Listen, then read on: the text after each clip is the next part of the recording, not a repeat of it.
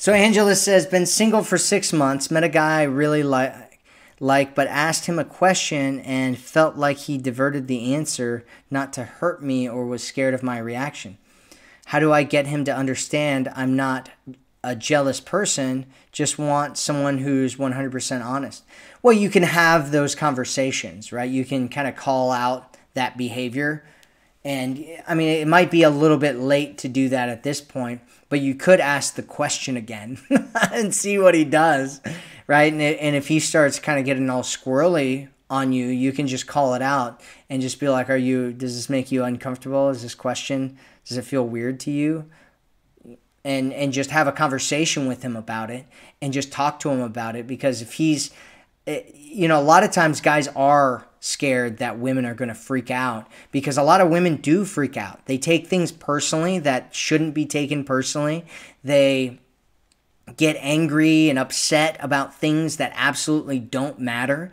And if he's like most guys, he's been in a situation or a relationship or had a mom or a sister or somebody around him who was a woman who he said something and it was totally innocent and she lost her mind and so he's a little bit hesitant to talk about it. It could be that. It could also be that he doesn't want to have that conversation.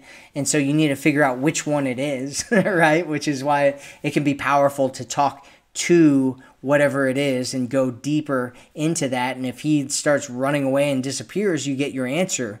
And if he opens up about it and has a conversation about it, you have another answer. And so that's better to do than than you know avoiding it or being like okay what does he think? and all that kind of stuff is just speak to whatever it is that he's having a problem with going deep into it right? And and that can be scary for him and you.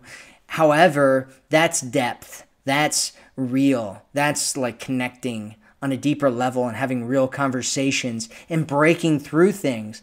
And real connections in this day and age are incredibly rare. Most people are walking around on their phones. They're not hanging out with people anymore. They're not connecting with people anymore. Everybody's like scared to death of offending somebody else because everybody's getting offended over everything nowadays. And so, if you can have real conversations with somebody and a guy is open to that real conversation with you, it can be incredibly powerful in bonding you together. And you can also use it to find out whether he's willing to have real conversations like that or whether it freaks him out and makes him run away.